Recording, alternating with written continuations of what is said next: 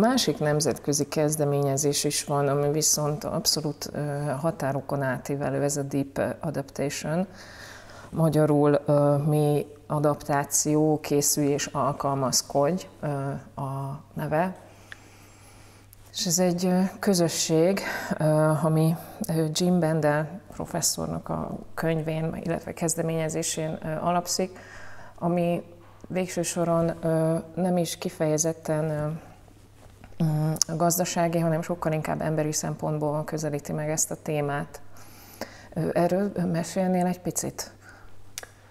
Igen, ez egy, ez egy szintén köztudatba robbant tanulmány, ami szerintem azért nagyon érdekes, mert, mert tökre nyíltan ír azokról a, azokról a dolgokról, amikre, amikre túl van gondolva, meg nagyon messze elvitte, de amikre lehet számítani egy ilyen klimatikai, társadalmi, gazdasági összeomlásnál, és nagyon relativizálja azt, hogy, hogy most milyen életkörülményeink vannak, és milyen problémákkal szembesülünk engem. Ami a leginkább meg, meg melbevágott, az például, hogy nagyon egyszerűen és tömören leírja, hogy, hogy valószínű fel kell hagynunk azzal a szokásunkkal, hogy nagyon rövid idő alatt, nagyon gyorsan, nagy távolságokat utazunk. Egyszerűen nem leszünk erre képesek.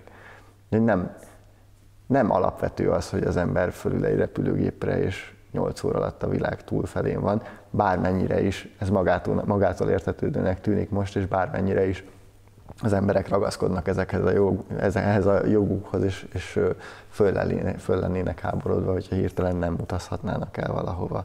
Vagy ami még inkább melbevágó, hogy, hogy nem is tudom, hogy írja, hogy a, termoregulált életterek megszűnnek. Tehát az, hogy legyen egy olyan házunk, amiben annyi fok van, amennyit beállítunk.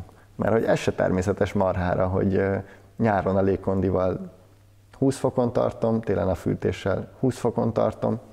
Ez, a természet ez nem ilyen, meg a világ nem ilyen, és, és enélkül is, vagy, vagy ennek a sokkal limitáltabb használatával is tudtunk létezni, és hogy fel kell készülni arra, hogy vissza, visszamegyünk egy ilyen világba.